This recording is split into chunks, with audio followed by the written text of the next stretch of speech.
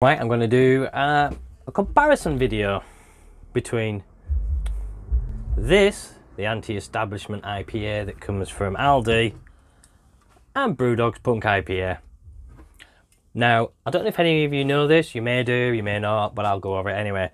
Um, Aldi put this out, the anti-establishment IPA, and Brewdog said, that's our beer. If you didn't do that, we're going to do an Aldi beer then. And do conversation or whatever, through Twitter or whatever, or big marketing thing, there's going to be an Aldi beer, which is going to be, I think, the Brewdog doing version of this. Uh, but I wanted to know if that really is like that.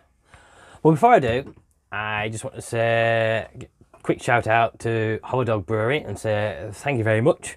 Um, you may have noticed a few people have commented that my recent videos you haven't been able to read things like that properly. It's been um, mirror imaged. Well, that's because I'm using the selfie cam on my phone to do the recording so I can see, let's see what's going on, and, and record it. But it flips. When you record with the selfie cam, it flips everything. So there is, in an Android phone, you can switch that back I don't know if you can in iPhones, don't have one. Um, but yeah, in an Android phone, you can then flip that back around so it's no longer mirrored. So thank you, Hoverdog. So, do these taste the same? And I need to go get a glass. I forgot to bring two glasses. Mm. I'm back. Remembered, glasses. Always a good idea. So, this is the anti-establishment IPA. It is 5.6%. Brewdog Punk IPA, also 5.6%. So we'll see how it is. Compare it. So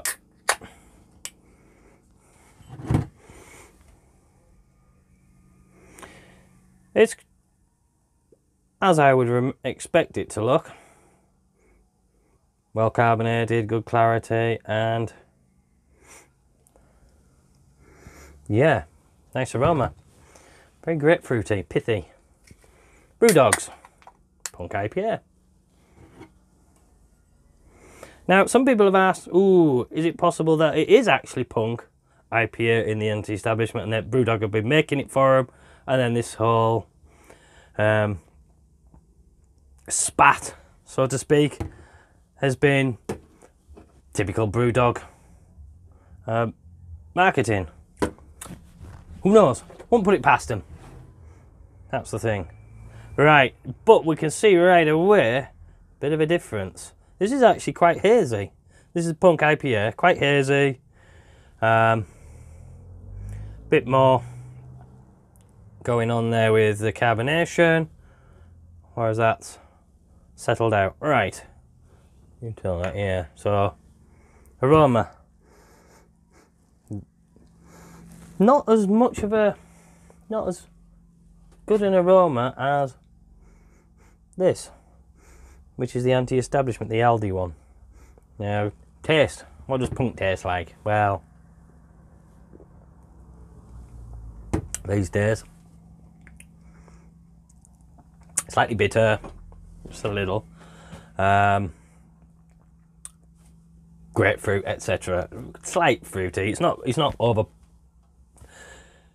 It seems a lot less now than when I first started drinking um, such as craft beers such as this. Um, back then it was an amazing. Whether I know they changed the recipe once already, but I hadn't started. I don't think I'd had it by that point. But so when I first had it, uh, I think it was already the, the, the latest recipe. But yeah, as you'd expect, Punk IPA. This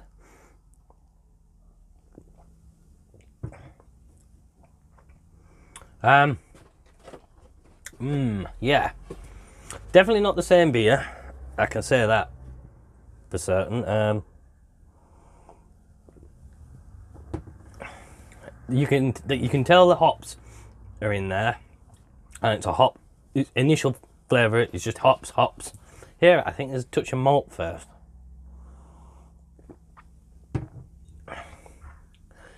Yeah, there's a more maltiness to it. Only a touch and less um, hot bite, so to speak.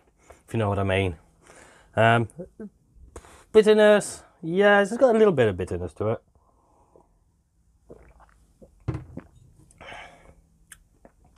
But yes, they're certainly not the same beer. How do I rate them? I would definitely say, although that's a cheap, okay beer, it's not Punk IPA. And it doesn't taste as good as Punk IPA. And I know, oh, Punk's not so good anymore, and uh, Brewdog, blah, blah, blah. It's, you can get it in Wetherspoons and all that. I know, I know. They still do some good beers, though. Um, usually they're dark beers I prefer these days to these. But this is a, a cheap, oh, it's not so cheap really, is it? A cheaper version of a craft beer. And one that really got me started on doing a lot of hops in my beers. I have to say, it still still does what it's supposed to do. So what can I say?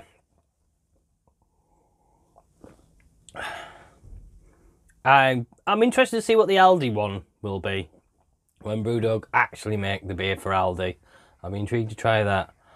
Uh, this anti-establishment, I thought it was close and I tried it once before, but having actually compared the two now, I can see that this is a, lesser beer, should we say. I mean, it's not a bad beer. Um, it's not as good as Punk, I would say.